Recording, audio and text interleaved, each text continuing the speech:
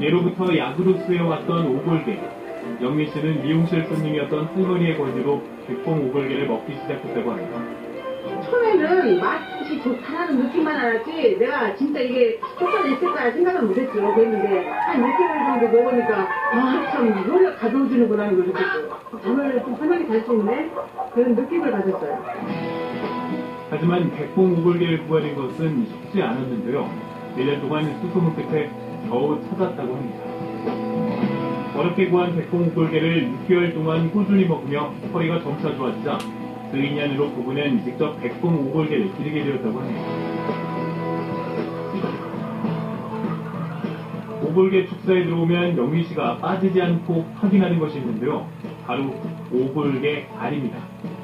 오골개는 보통 1년에 100여 개의 알을 낳는데 생후 5개월부터 알을 낳기 시작한다고 합니다.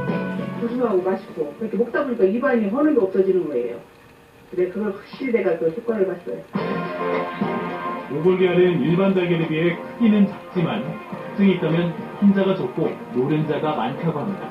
또한 오골개는 약효가 뛰어나다고 하는데요.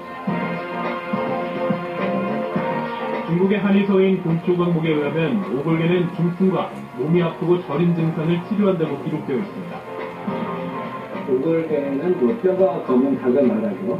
어, 한의학적으로 보면 그 닭은 간의 기능을 보호해주고 검은 뼈는 심장을 보호해주게 해서 간과 심장을 보호하게 됩니다. 그 심장을 보호하게 되면 골절상이나 어, 골통에 효과를 보게 됩니다.